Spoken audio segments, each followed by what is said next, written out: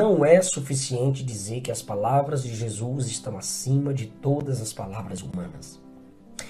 Não é suficiente ressaltar as palavras de Jesus com tinta vermelha entre as demais palavras das Escrituras. Quem tem uma Bíblia assim? Vários de nós. Não é suficiente atribuir a bem merecida honra a essas palavras atemporais.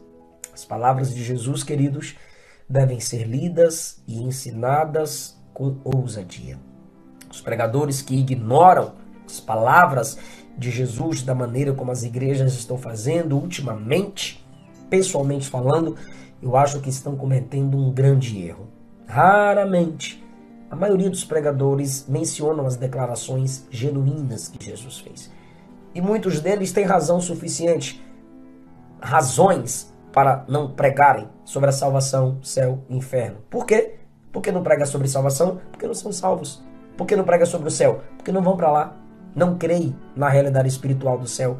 Nem pregam sobre o inferno, pois eles temem o inferno. E às vezes são os próprios demônios, ou seja, mensageiros caídos em muitos púlpitos.